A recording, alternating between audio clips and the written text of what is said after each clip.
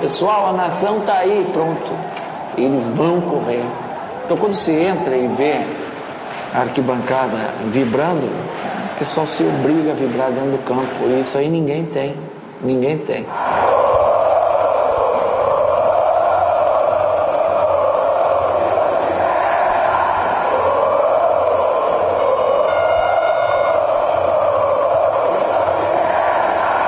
Tem a gozação da torcida, é tanto que, que no estádio 75% flamenguista, 25% Botafogo. Eu estou sendo até generoso com a torcida do Botafogo. Né?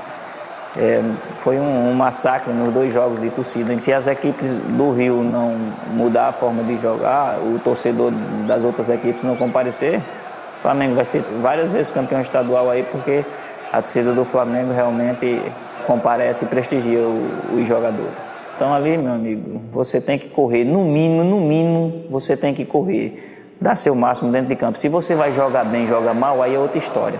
Mas que você tem que mostrar raça, vontade de correr até o final, você tem, porque a torcida do Flamengo é, é apaixonante. Eu sou torcedor do Flamengo de coração, né?